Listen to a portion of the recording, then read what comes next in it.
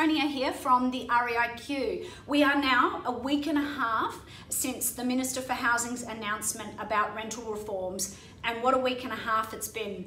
Uh, we've heard all sorts of stories emerging. Uh, uh, these proposed rental reforms, we've seen some research suggesting that rents will increase by $5,000 per annum if these reforms are implemented. We've heard of tenants calling property managers and demanding to have pets or demanding certain modifications, understanding that these reforms have already become law. And of course, as you would have all seen, we've seen landlords saying, we will leave uh, the rental market if these proposed reforms are passed. So again, it's early days, but it's very clear that these proposed reforms will have a detrimental impact on the property market in Queensland.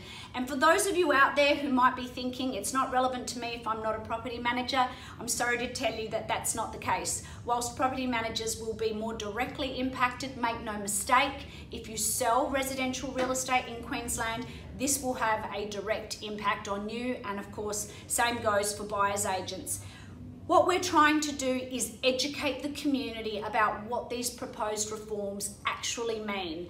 We've tried to create a series of very short videos explaining why we are concerned and why we need more balance in this review process. So I'm really thrilled to let you know that in under a week uh, since our website went live, we have sent nearly 4,000 letters to the Premier, which is just outstanding. But we need to do more. That's not enough. We want you to keep sending a letter to the Premier via our website, but we also need you to send that landlord letter we have created for you. It's a template letter available free of charge. You can cut and paste it into your own letterhead.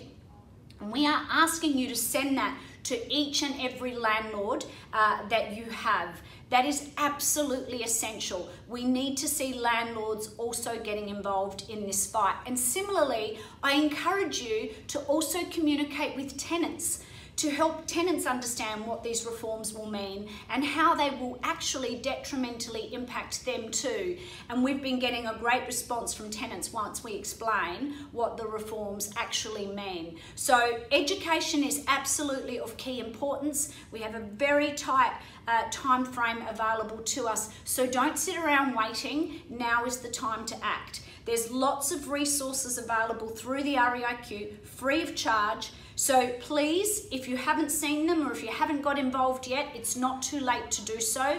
Reach out to us. We have letters you can use, template letters. Uh, you can simply send a letter to the Premier at the click of a button via our website. There's a landlord letter, there's a summary, there's loads of information. So reach out to us if you need a hand. We're here to help and please get involved. It's not too late to do something about these reforms.